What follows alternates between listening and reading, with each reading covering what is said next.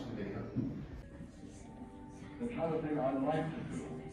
Uh, I know it isn't, it isn't the highest form of law, there's no doubt in the world about that, I know it better than anybody else. I love to tell stories, stories of twisting and the last. That is uh, what a firearm man goes for. But I go for it, and I just want to do it that way. Though he died in 1978, Rockwell's reputation strong, continually growing. Today, the Norman Rockwell, the dawn of commercial air travel,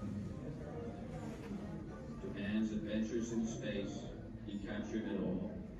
He celebrated our thirst for entertainment in all of its forms, from the national pastime to Hollywood to the debut of television.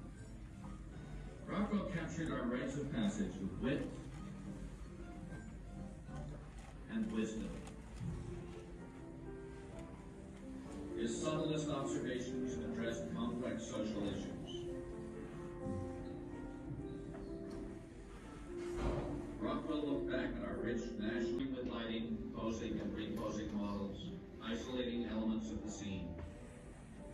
these came charcoal sketches, usually the size of the final painting. At this point, he analyzed the composition and tones and solved technical problems. Color studies showed him how his choices would play on the newsstand.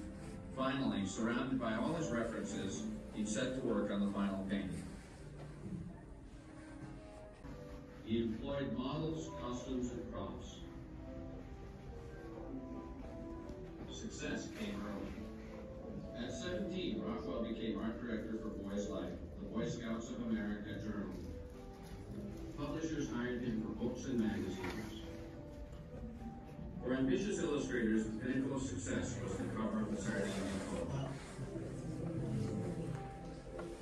Paintings of children caught in humorous situations earned Rockwell his first post cover on May 20th, 1916.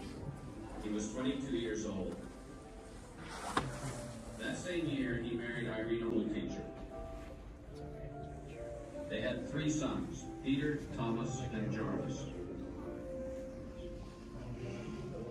Happy in his personal life, Rockwell endured a professional crisis. In 1932, he traveled to Europe and experimented with modernism. Commissions for two stories, Tom Sawyer and a biography of Louisa May Alcott, renewed his enthusiasm for illustration. In 1939, the Rockwells moved to Arlington, Vermont, where Rockwell began to paint small town life more consistently. But the horizon was dark. When America went to war, so did Norman Rockwell on canvas. He depicted the home front and the misadventures of a small town recruit.